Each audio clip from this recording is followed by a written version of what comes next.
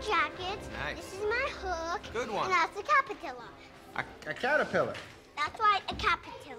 Caterpillar. All right. Hey, staying clean, pal? Yes. That's right. You drink the booze, you lose. Remember that, punk. Hi, Hi. I'm Julian's teacher, Miss Foote. You his father? Yeah, how you doing? I'm Kevin Gerrity. I wonder if you give me a few minutes of your time to go over a couple of things that have been bothering me. Sure. Go take a walk, pal. Uh, Julian has been displaying some odd behavior. Last week, he spilled a tube of glue on the floor and didn't tell anybody. He just covered it with newspaper. Uh-huh. And then one of our students wore rollerblades for show and tell. Yeah. And Julian tripped him with a stick. I've never.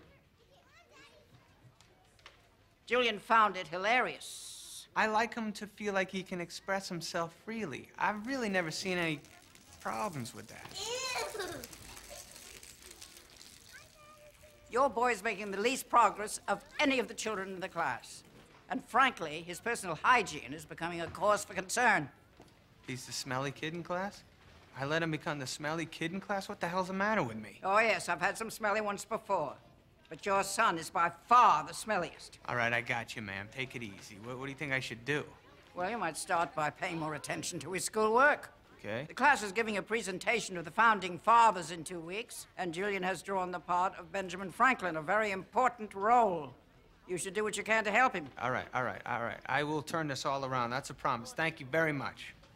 Hey, Stinky, let's get going. You got us in trouble. There you go,